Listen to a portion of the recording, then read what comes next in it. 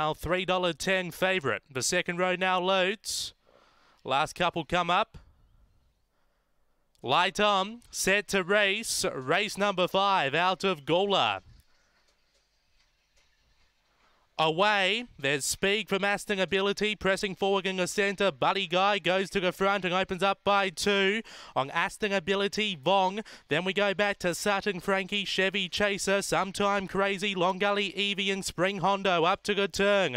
Buddy Guy opened up by four. On Aston Ability, Sutton, Frankie, Chevy Chaser, Buddy Guy too good. Big home Aston Ability, Chevy Chaser. Then we go back to Sutton, Frankie, Long Gully, Evie, Vong, Sometime Crazy and Spring Hondo 2263. That's a sharp rung.